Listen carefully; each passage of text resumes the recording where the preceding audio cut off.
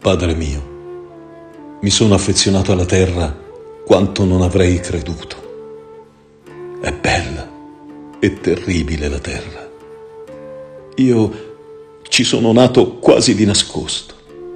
Ci sono cresciuto e fatto adulto in un suo angolo quieto tra gente povera, amabile, esecrabile. Mi sono affezionato alle strade mi sono divenuti cari i poggi e gli uliveti, le vigne e perfino i deserti. È solo una stazione per il figlio tuo la terra. Ma ora mi addolora lasciarla e perfino questi uomini e le loro occupazioni, le loro case e i loro ricoveri, mi dà pena doverli abbandonare. Il cuore umano è pieno di contraddizioni, ma neppure neppure un istante mi sono allontanato da te. Ti ho portato perfino dove sembrava che non fossi o avessi dimenticato di essere stato. La vita sulla terra è dolorosa, ma è anche gioiosa.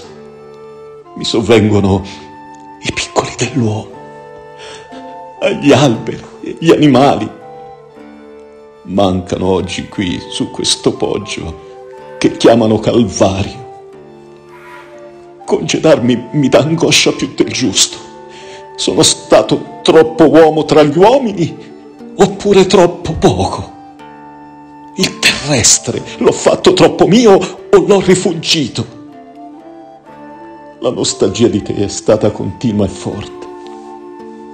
Tra non molto saremo ricongiunti nella sede eterna.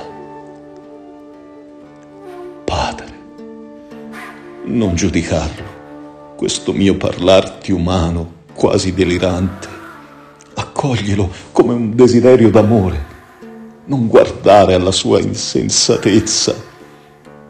Sono venuto sulla terra per fare la tua volontà, eppure talvolta l'ho discussa.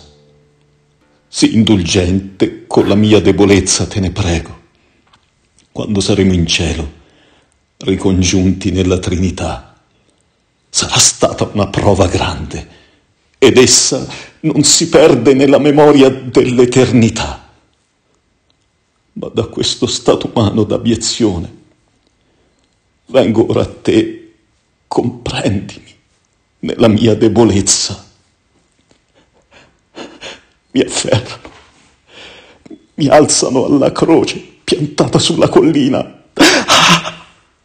padre, mi inchiodano le mani e i piedi.